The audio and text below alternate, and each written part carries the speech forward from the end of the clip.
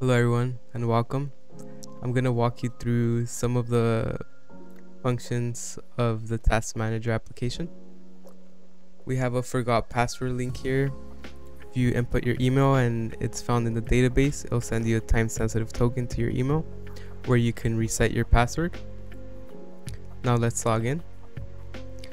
I'm currently logged in as an admin. So as an admin, you are able to access this dashboard where you are able to see all your employees.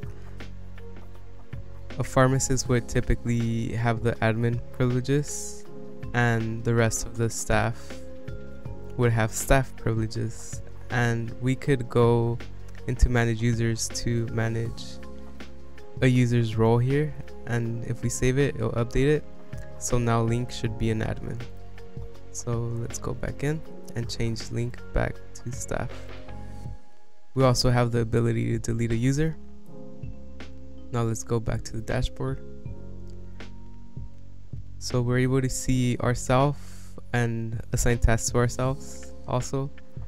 And if we go into our staff here we're able to see their tasks to see if they've completed them. So they could check them off and click update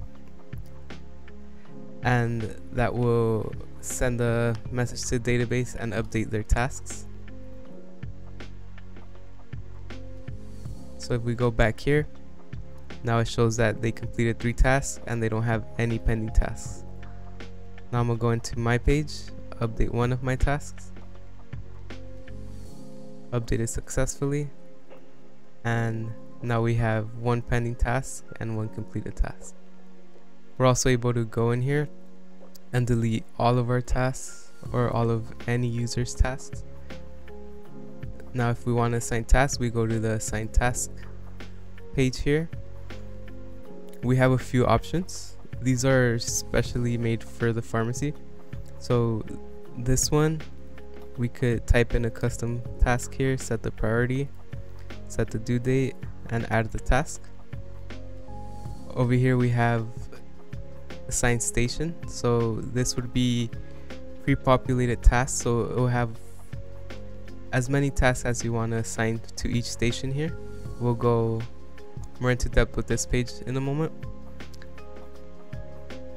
Now let's say we assign the will call station, due date tomorrow, add task. The will call station has a few tasks that are preloaded in there, so now this user has two extra tasks. Let's go back here. This is a report that's done for every day of the month. So we're able to do this during any time of the month, but it's specific to a day within the month, if that makes sense. So we're also able to select multiple dates, pick the user that we want to assign that task to, select the date, and add the task. These are all similar reports, but we do different things for each report. So let's go in here and assign this report and now we go back to the users page here and now he has all these tasks assigned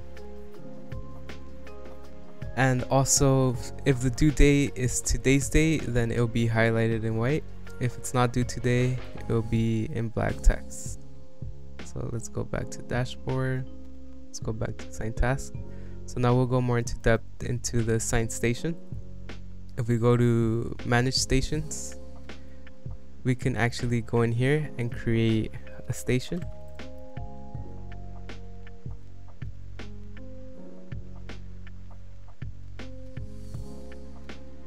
so I misspelled that but I still need to work on a function that allows us to delete a station. Okay so now let's go in here.